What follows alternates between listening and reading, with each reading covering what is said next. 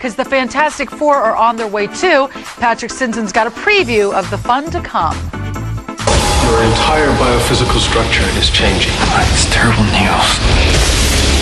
I think I'll get a second opinion. You're not one of the Fantastics. No, but I am fantastic Yeah. in my own kind of way.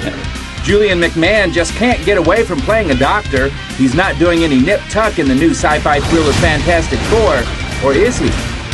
With a name like Victor Von Doom, you kind of think, you, you wonder whether things are going to go downhill a little bit. And he kind of turns into this nasty guy over a long period of time. It's not for the last like 10 minutes of the movie that he kind of becomes this prosthetically bound, you know, large, indestructible human being. Victor, you always thought you were a god. Let's not fight. No. Let's. Now to our fantastic heroes.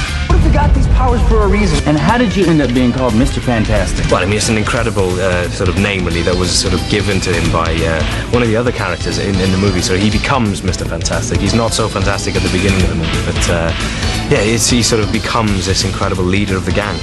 And by his side is Jessica Alba as the Invisible Woman. Look at me. I can't. We did everything in our power to educate ourselves on the Ultimate Series. He's hitting her from his core. Walk around on fire for the rest of your life, do you? Is that a trick question? Chris Evans is definitely feeling the heat as the Human Torch. I'm on fire, yeah. on yeah. fire, Yeah. just like his career. And Michael Chiklis is solid as a rock as the Thing. I- I'm trapped in a body I don't want to be in. It's Clobbering time.